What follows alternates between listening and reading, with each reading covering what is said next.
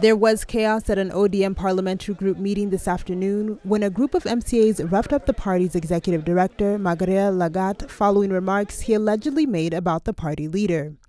Magerer is accused of saying CORD leader Raila Odinga should retire from politics, remarks which angered the MCAs and youths present.